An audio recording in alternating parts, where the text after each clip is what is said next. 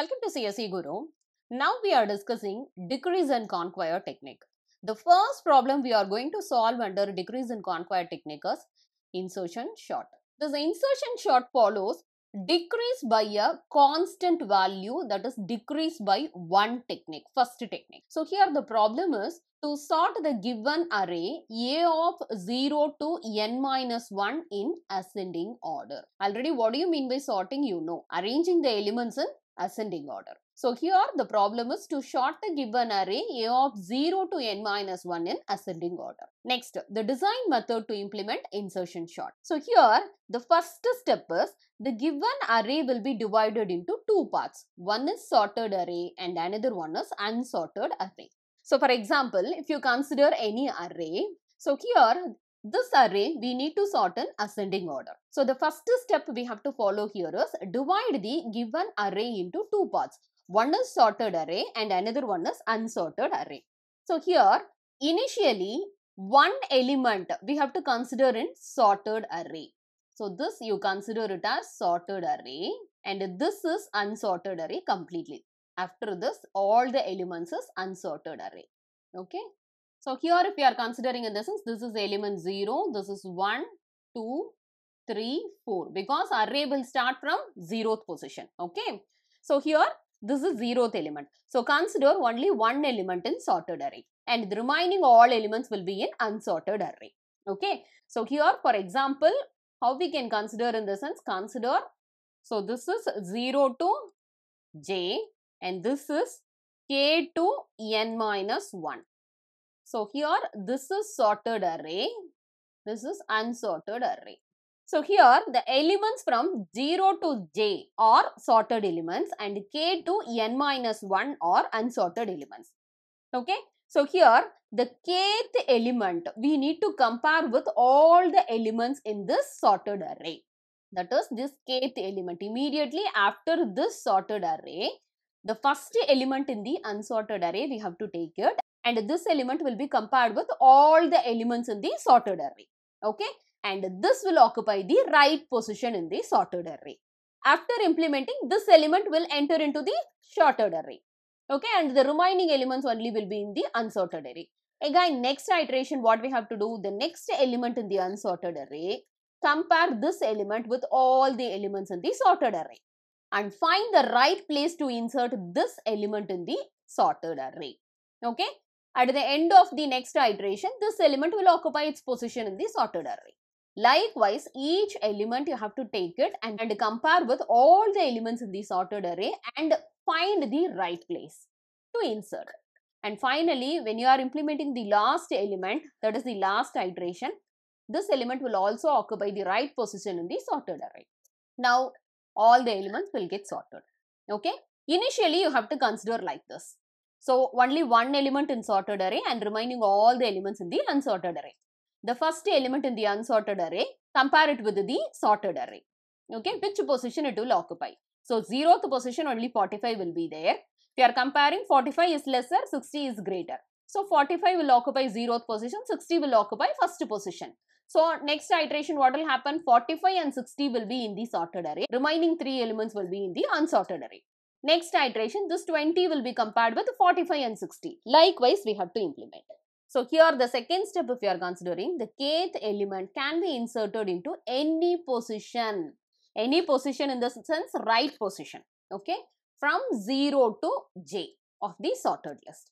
Each iteration, the unsorted list will be decreasing by 1. This unsorted list one element we will consider and that element will be compared with all the elements in the sorted array and this unsorted element will occupy the right position in the sorted array. So every iteration one element will be decreasing in the unsorted list. After n minus 1 iterations all the elements will be in sorted array. So this is nothing but design technique. So first step divide the array into two parts. One is sorted array and another one is unsorted array. Next, the kth element compare with the sorted array and it will occupy any position from 0 to j in the sorted list. Each iteration, one element will be decreasing in the unsorted array. Means this element will occupy the right position in the sorted array. Okay. So after n minus 1 iteration, all the elements will be in the sorted array. This is the design technique. Okay. So now we will see one example. Consider this example. So here the first element we will consider and we will keep the first element in the sorted list. Okay. And the remaining all the elements in unsorted, unsorted array. So now what we have to do it in the sense compare 89 and 45. Okay. Compare. So 45 is a lesser element, 89 is a greater element. So what it will happen? So the position if we are considering sense, this is zeroth position, 1, 2, 3, 4, 5 and 6. Okay.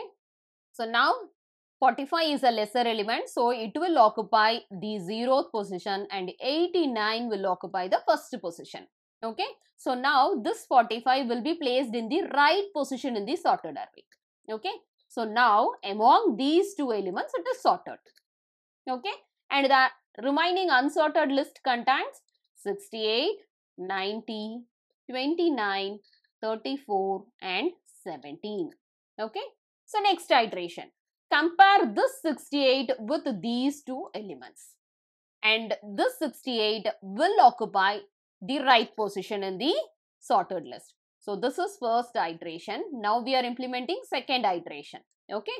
So second iteration compare 45 and 68. 45 is a lesser element compared to 68. So 45 will occupy its position only. Compare 68 and 89. 68 is a lesser element. 89 is a greater element. So 68 will be placed here and 89 will be placed here. So now this is the shorter list and this is the unsorted list. 90, 29, 34 and 17 will be in the unsorted list. Next iteration, third iteration, compare 90 with this sorted list. So compare 90 and 45. 45 is a lesser element, so keep it here.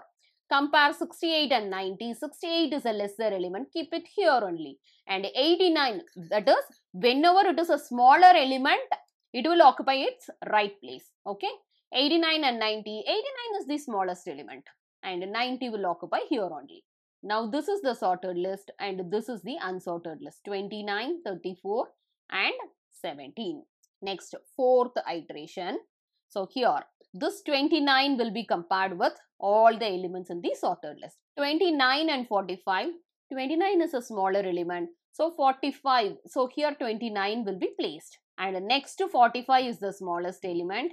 And next to 68 is the smallest element. Next to 89 and next 90 now this is the sorted list. And this is the unsorted list. 34 and 17 next fifth iteration. Compare 34 with the sorted list. 29 and 34 29 is the smallest 45 and 34, 34 is the smallest. Next 45 and 68, 45 is the smallest. Next 68. Next 89. Next 90. Now this is the sorted list and only 17 in the unsorted list. Next the sixth iteration. Compare 17 with the sorted list. 17 and 29. 17 is the smallest element. 29 is next and next 34 and next 45 68 89 and then 90 now this is the complete sorted list. After n minus 1 iteration. Here n value is nothing but n is 7 right? 0 to 6 so totally n is 7 n minus 1 iteration in the sense totally 6 iterations so at the end of sixth iteration, all the elements will be in the sorted list. Now the array is sorted. So this is the logic of insertion sort. So here initially one element will be in the sorted list and remaining all the elements will be in the unsorted list. So every iteration, one element in the unsorted list will be compared with the sorted array. And this element will occupy the right position in the sorted list. In every iteration, the unsorted list will get decreased by one element. Meaning is that element will occupy the right position in the sorted list. That is the meaning. So likewise, if you are implementing n minus 1 iteration in this sense, finally you will get the sorted list. This is nothing but insertion sort using decrease by 1 technique. So in this session, we have learned what is insertion sort and how to implement the design steps with example. In the next session, we will discuss insertion sort algorithm and how logically according to the algorithm we are going to implement this example that we will discuss. Thank you for watching this video.